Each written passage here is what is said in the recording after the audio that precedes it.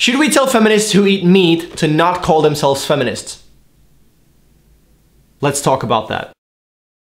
Hey everyone, it's the Rad Berry, and today I want to talk to you about something that's very popular in the animal rights movement. Telling feminists that they shouldn't call themselves feminists if they consume animal products, and telling environmentalists that they shouldn't call themselves environmentalists if they consume animal products. And the most popular sentence of them all, you're a hypocrite.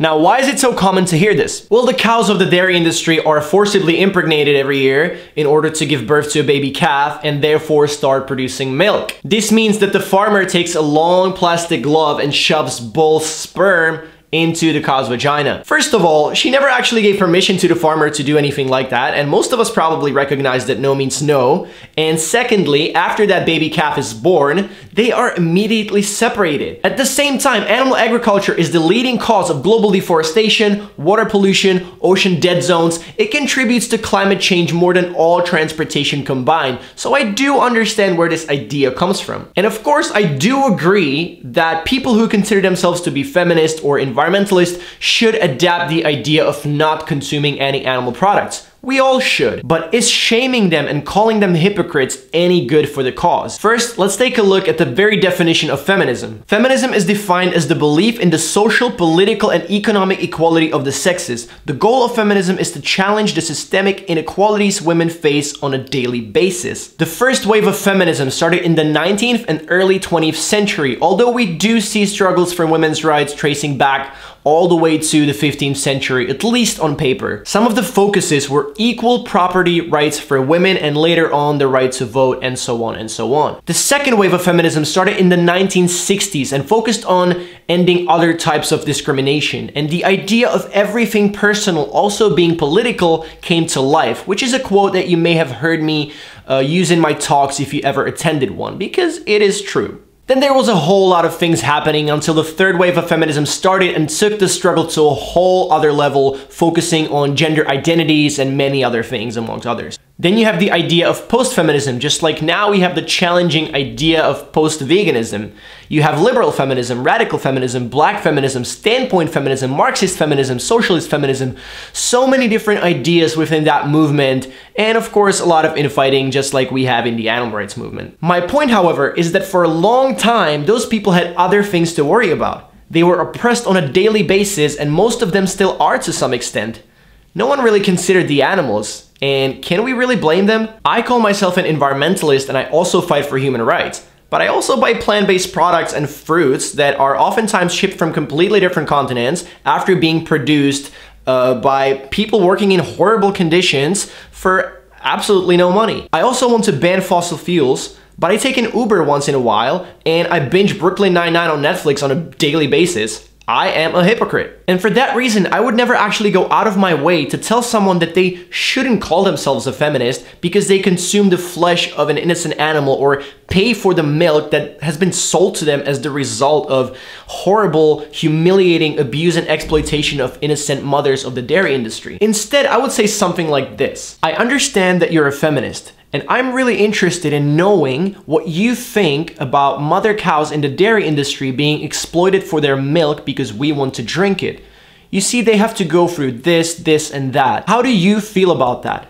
Do you believe that equality should be exclusive to human animals? Do you think that we as feminists should care about this issue? Here's why I think we should. In fact, I challenge you to go to a feminist demonstration and interview the activists there Ask them if they drink milk, and if they say yes, tell them that they're a hypocrite.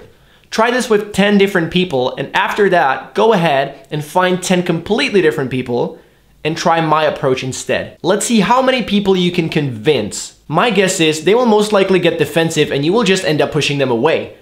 And I used to do this for years, so I know what I'm talking about. And the thing is, this was probably not the point of that demonstration. But apart from the strategic aspect, I also want my approach to be aligned with the goal I'm trying to achieve.